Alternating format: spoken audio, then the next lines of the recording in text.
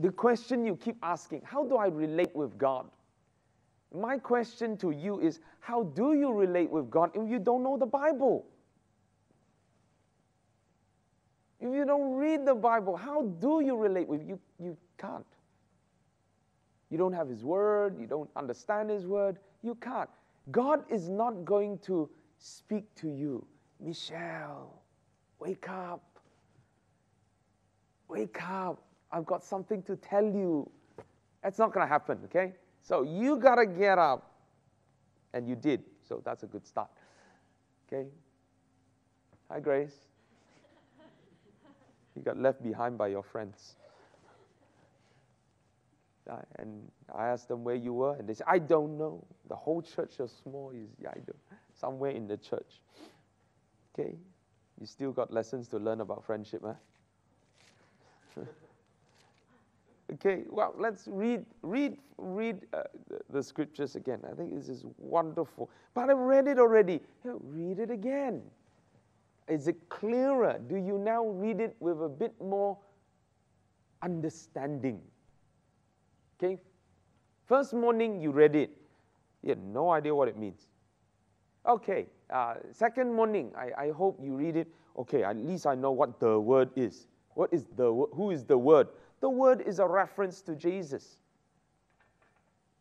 He is called the word, the logos, the word. Right?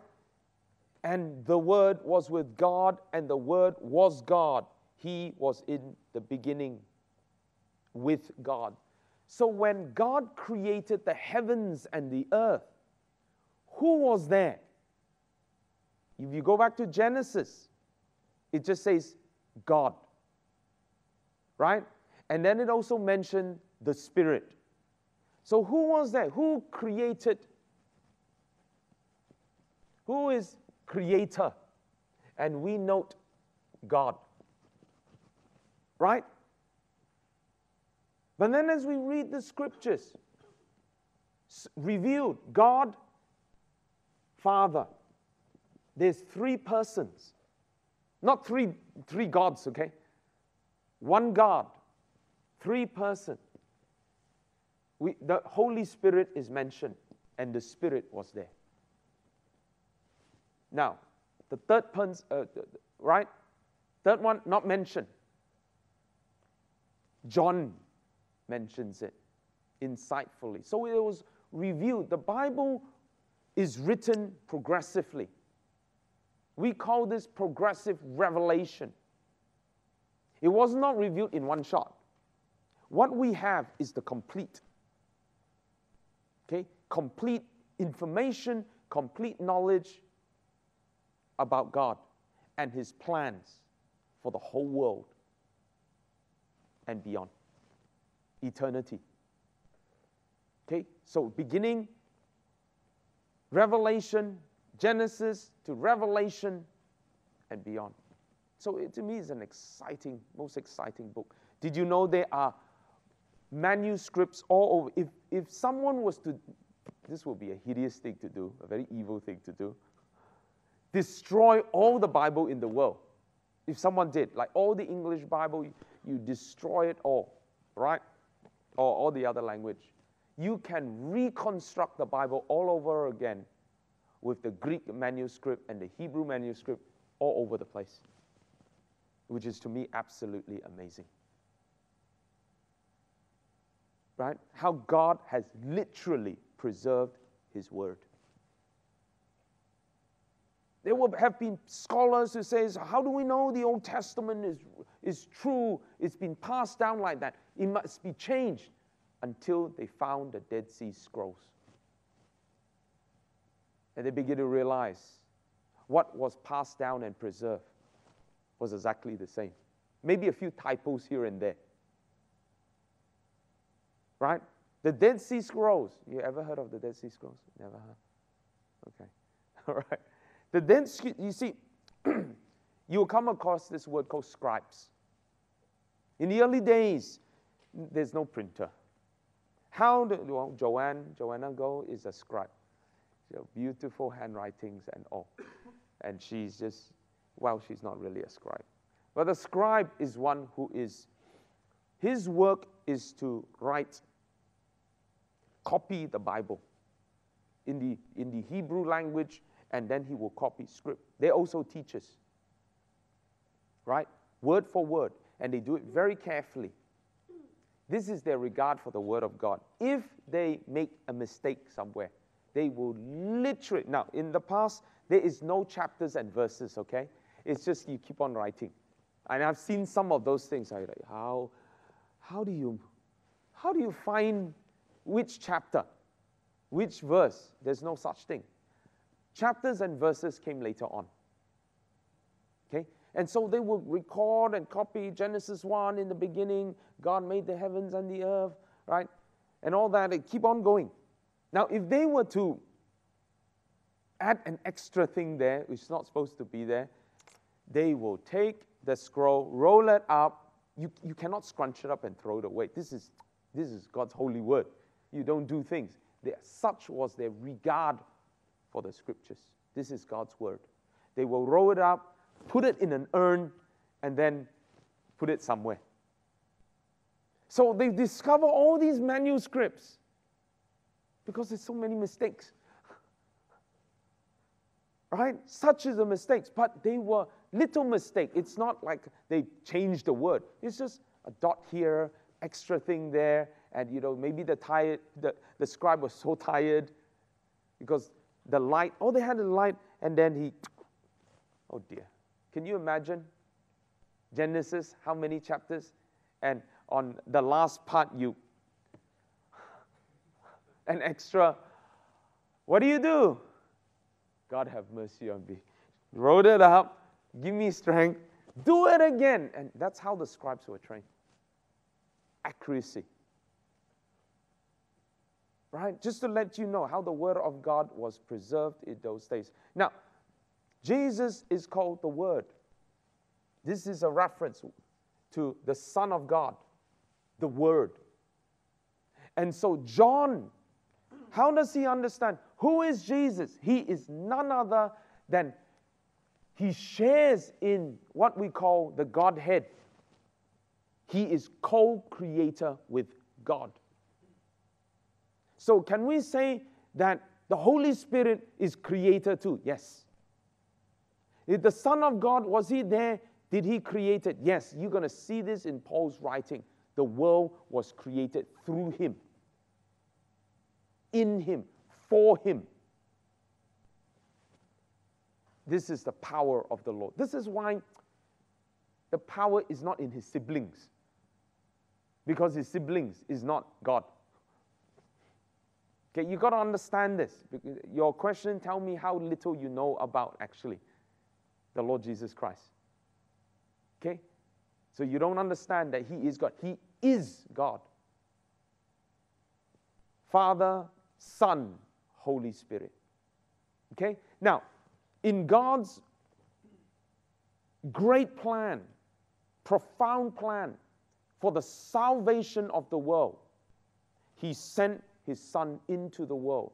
This is why John said, and the Word became flesh and we celebrate that every Christmas.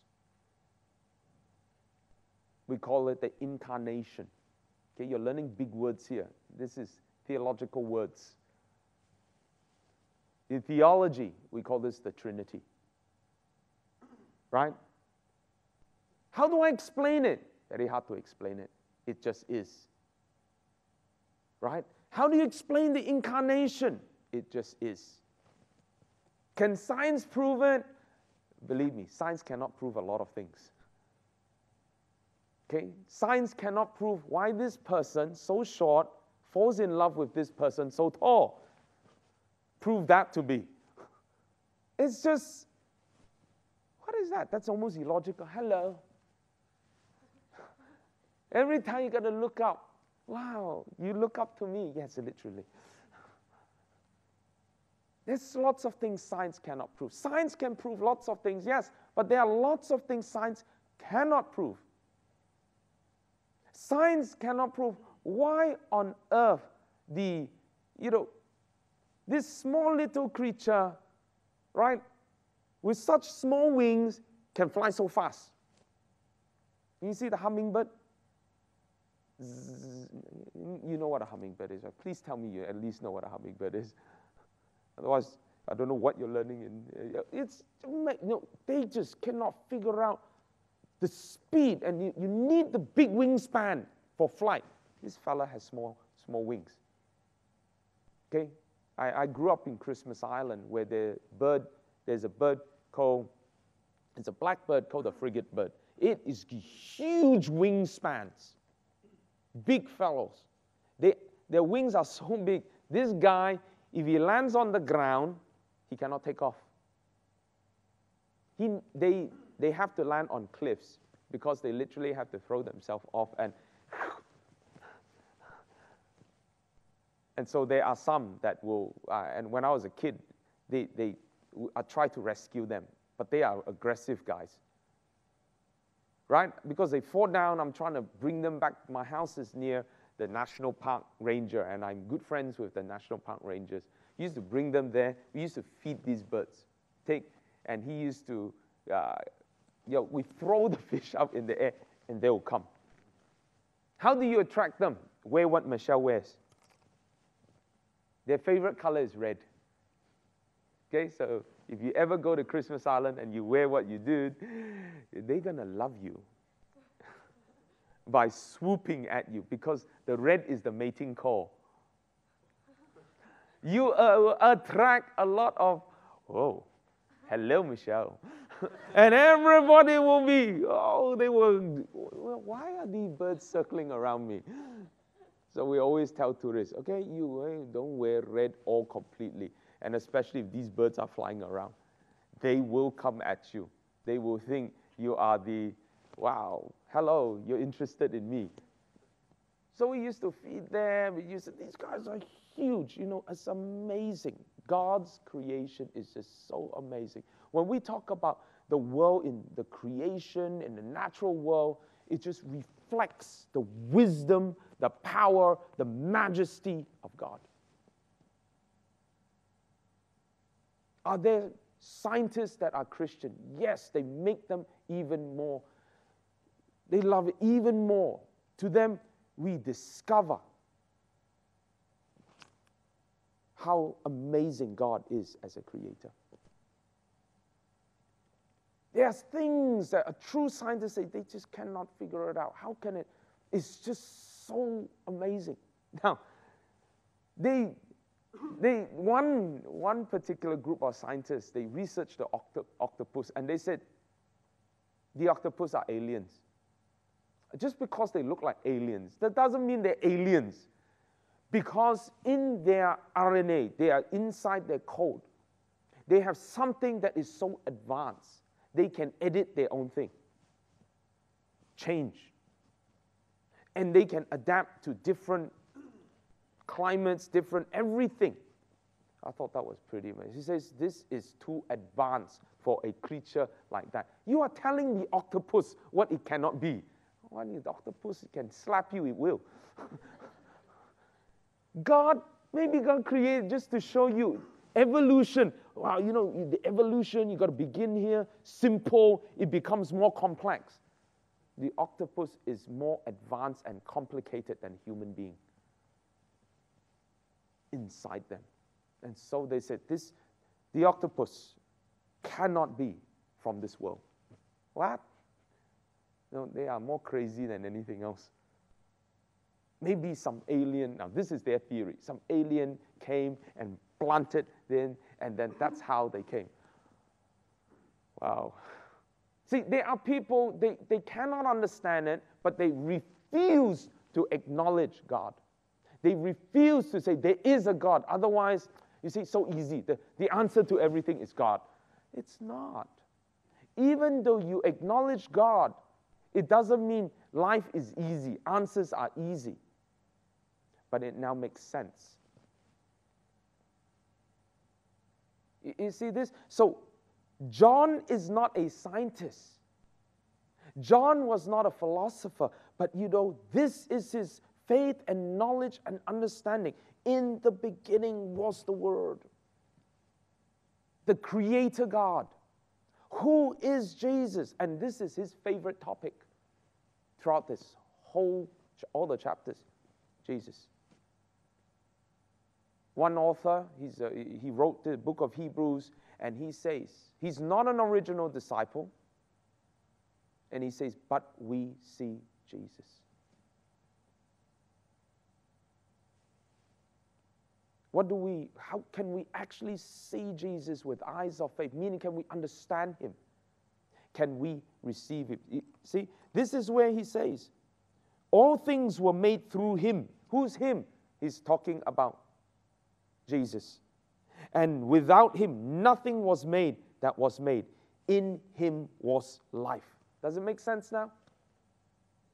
See, we've got to read the Bible and say, well, can I understand this? And the life was the light of man. The light shines in the darkness, and darkness did not comprehend. Right? So I, I listen to the way you read the Bible, and I say, whether you, whether you grasp the meaning or not. You cannot read it. This is, to me, this is exciting to read it say, wow. Okay? And so he says, there was a man sent from God whose name was John. This man came for a witness. Now, this is John the Baptist, bore witness of the light. So God sends messengers, witnesses to point people this Jesus is who he is. So Jesus did not come into world and say, I am the Son of God alone. A lot of people, a lot of past um, said that I'm the Messiah. Jesus had what you, we call others, witnesses, pointing, this is the Messiah. Right? So this is going to make him stand out different from the rest. Now, we read that all through him might believe. He was not that light, referring to John the Baptist, but was sent to bear witness of that light. That light. Not just any light. This is the light. Right? Different from our light. We, we can say we have received the light of the Lord, but we are certainly not the light. John was light in the sense that what does light represent? You switch off all the light, you can't see. No light darkness. But when there's light, now I can see, I can read, I can understand. That's what light represents wisdom, understanding, knowledge. Can you know God? You need His light. Right? Without this light, I, I, I can read, I, I can understand. You need that light. Now, verse 9 that was the true light which gives light to every man coming into the world. He was in the world, and the world was made through him. Still talking about Jesus. The world did not know him. Right? Those who do not, uh, they did not know him. Why? Because they did not receive him. And that is what we talked about. Right? have we received the Lord?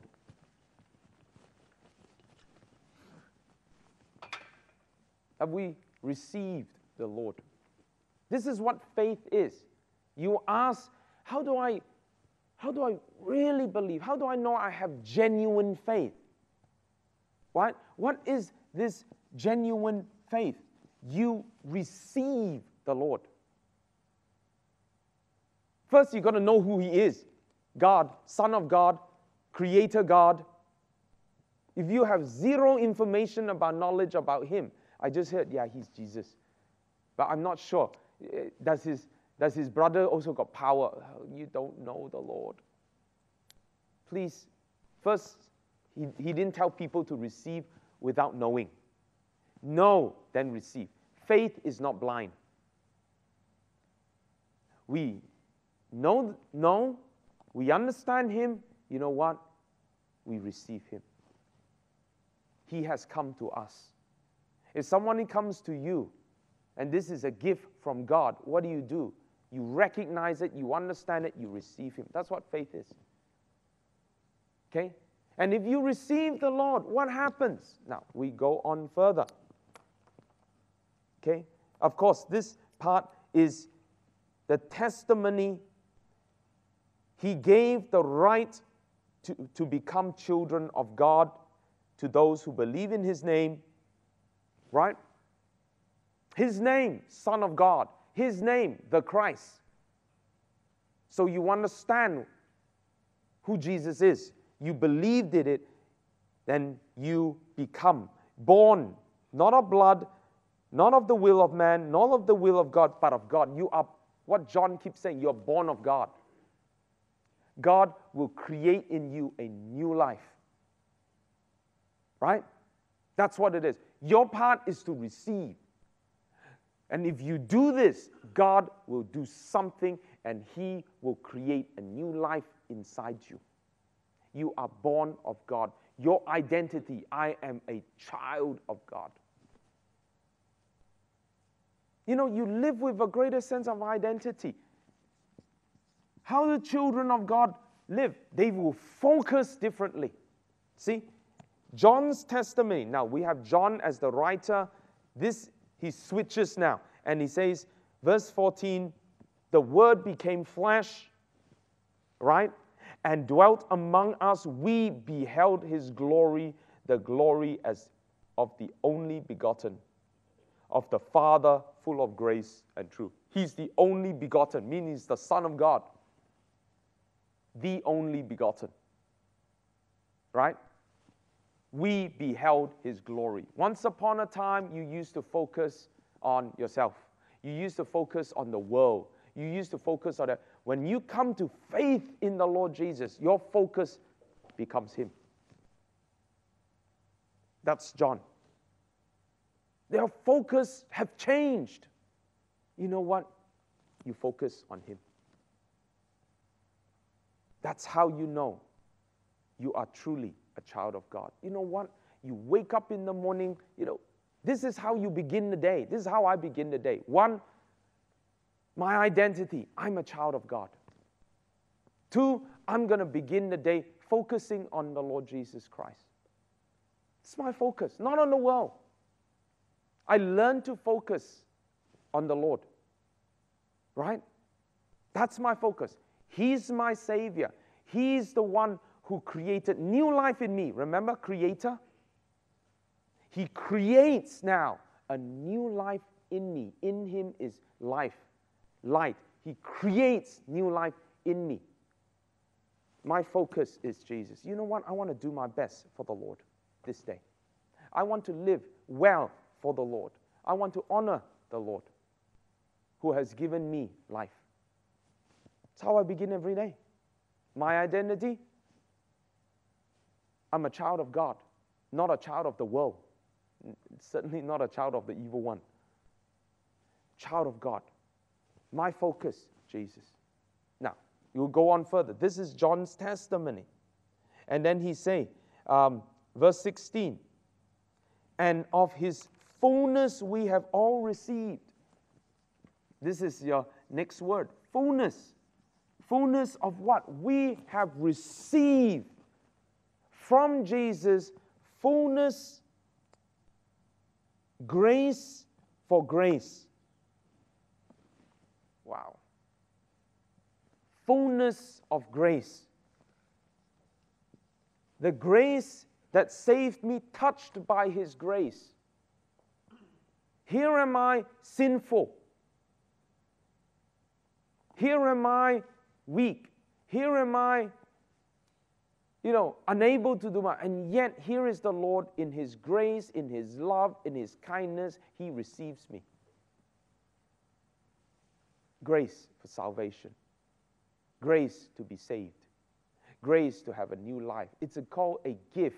You didn't pay for it, you didn't work for it. There's nothing you can do to ever earn His love. He gave it to you. Do you understand grace? A lot of time we don't understand grace. What must I do? Okay, I'm gonna, I'm gonna do this, I'm gonna do this, I'm gonna go out of bed, I'm gonna change my life. without the Lord's grace, you will fail. We do it because we have received grace. We do it because, you know what, I have been deeply touched by God's grace. And every day I can begin, you know what, this is, this is my identity. This is my faith. I'm a child of God. This is my focus, the Lord Jesus Christ. You know, I may have a full day ahead, I may have many challenges that I need to face. I can face it with the fullness of God's grace. Grace and strength goes together. This is what I have received. See, uh, this is how I can begin the day with gladness, with confidence, with courage, not with, oh, the struggle is real. That to me is why? Begin the day strong. This is the breakfast for heroes, conquerors. Wow, this is, we begin the day overcomer. And the day hasn't even begun yet. Okay? Oh, well, I actually begin earlier than this. This is mid morning. Right? Usually already done exercise. Because this is not usual in camp. But you know how wonderful it is to begin. And then you can, the whole day, have that strength, have that focus. Not, no need to be distracted. I want to live, I want to live well for my Jesus. You know what I have. Can I do this? Will I fail? No. You have fullness of grace. How, unless you don't know. Unless you don't, don't have the Lord. You have all this. Just focus. Okay? Well, I, I want to really know God. What shall I do? Focus on the Lord now. This is one last bit here. Verse 17 The law was given through Moses, but grace and truth came through Jesus Christ. Now, Moses was a great teacher of God. He wrote five books in the Bible, Genesis to Deuteronomy. He was truly a hailed as a prophet sent from God, a great teacher. Compare Jesus with Moses. Okay? You cannot hold a candle to Jesus. Okay, and this is what is. This is a great, everybody knows Moses in those days. But this is Jesus, okay? No one has seen God at any time. The only begotten Son who is in the bosom of the Father, he has declared him. Now, this word declared him is what is this word? You see, there are teachers who teach by Okay, just memorize this. We call this rote learning. They don't really teach. I had teachers like that. It's just really difficult. They are not exciting. They are, I said, why are you? Re-? They're basically reading the lecture notes to us, word by word. Boring like anything. I mean, it's just, they're not explaining anything. They just say, okay, this is it. And they speak like a monotone. Yeah, yeah, yeah, yeah. Oh, we dead yet? Right? Now, there are teachers that explain things with skill. It takes tremendous skill to teach and explain things. This word declare. Now, I'm going to tell you this is not just declare as in, I'm just going to announce or proclaim. This word declare is where we get the word exegete. What is exegete? See, you're learning lots of big words today. Or the word expound.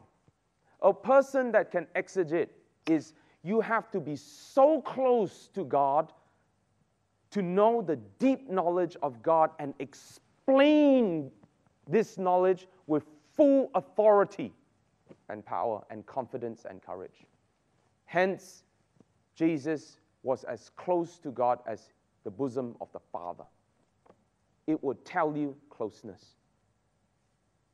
This is the work we do as pastors in the IPC family. We exegete the Word of God. We don't just declare. This is where you, you've been spending three mornings reading just one John, you know. And you probably have not seen this before. This is exegete. You expound. This is what Jesus taught his disciples to do. But comparing to Jesus, no one can do it as skilled as him. He truly is the greatest teacher.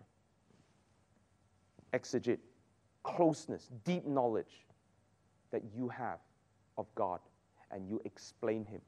It can be translated as he explained God. Probably better word than declare God. Because the word explain is also weak, but the actual word is the word exegesis or exegete or expound. You've heard of the word expound? You expound something. You know this knowledge so well, it's at the back of your hand that you can explain its every detail. That is exegete. Very few teachers can do that. Right? Now, I have an economic teacher. He will teach us and he will say, okay, turn to page 150, second paragraph, and he will recite it. He doesn't even look at the book. He sits there and talks to us and explain things from it without looking. I mean, he's not even reading. How can he do it? My economic teacher wrote the economic book. It's his book. That's why he knows it so well. He's the author. Jesus is the Word. You understand? You want to know the Lord? You want to know God? You want to relate with God? Focus on the Lord Jesus. There's so much to learn about. The gospel, many four gospel. Read. You like to read? Read, but ask, help me to read. But you need the Lord to give you light. You need other people who know the Lord to help you. They are the witnesses. Right? And every morning you can begin. Okay, so you can read John 1 again. At least you can focus. Okay, like I can I can begin this day like this. With faith, with focus, with fullness. Okay? While we pray together. Our Father, we pray as we spend one last day at the youth camp. We thank you for the many lessons that we can learn. Help us to develop a high interest to read the scriptures, to discover you, to discover the reality of faith, to receive it, experience its power in our life for every day. We thank you that we can begin the day focusing on you. We ask that you would bless us as we begin this day together shortly. We pray in Jesus' name. Amen. Okay, one last day. Enjoy it. Make the most out of it.